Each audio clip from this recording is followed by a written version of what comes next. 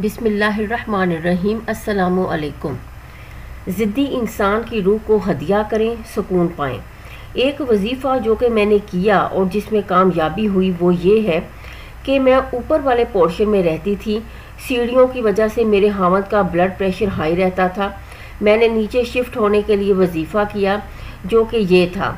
तीन बार दुरू शरीफ, एक बार सूर्य फातिहा, तीन बार सूर्य अखलास और फिर तीन बार दुरू शरीफ पढ़कर ज़िद्दी इंसान की रूह को बख्श दें। ये अमल मैंने दिन में एक वक्त और मगरिब के वक्त पूरा एक महीना किया। ये अमल करने की वजह से मेरे खामद के भाइयों ने हमें बाइज़्ज़त मकान में बैठने की इजाज़त दे दी। घर में सुकून आ गया। घरेलू झगड़े ख़त्म हो गए। अनोखा लाजवाब अमल है। ज़रूर आजमाइए।